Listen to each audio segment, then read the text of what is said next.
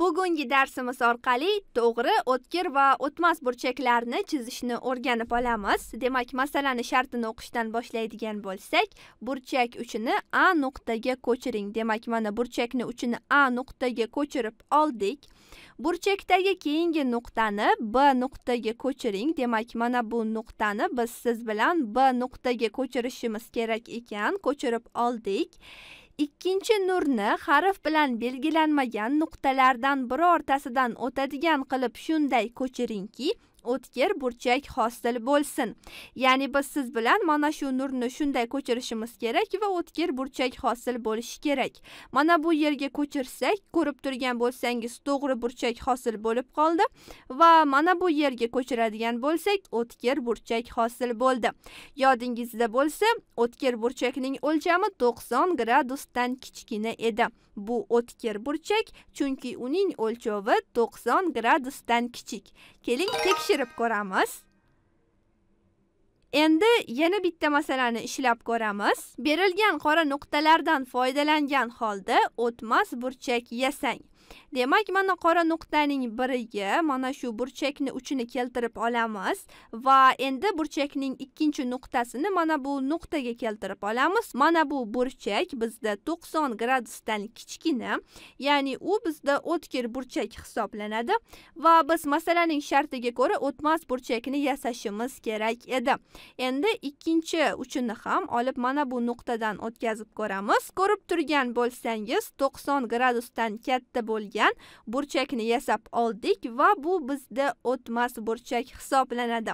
Bu o'tmas burchak chunki uning o'lchami to'qson gradusdan katta. Tekshirib olamiz. Keling yana bitta masala ishlab ko'ramiz.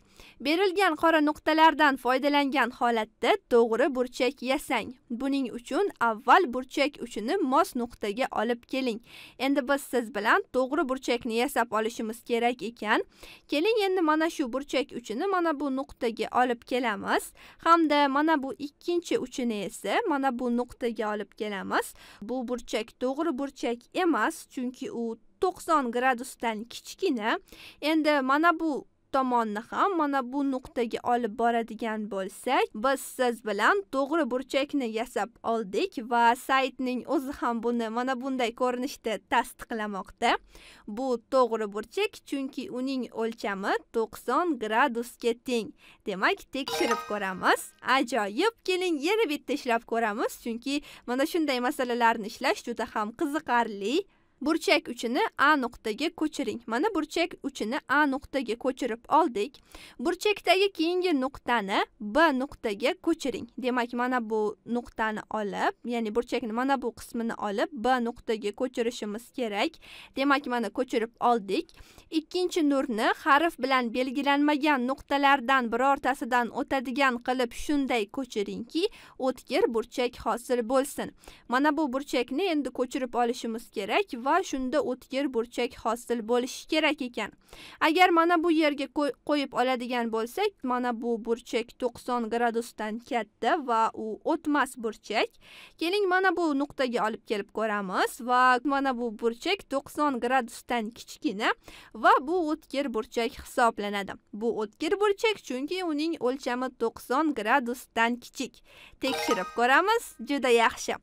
Umid qilamizki siz to'g'ri o'tkir va o'tmas burchaklarni chizib olishni o'rganib oldingiz.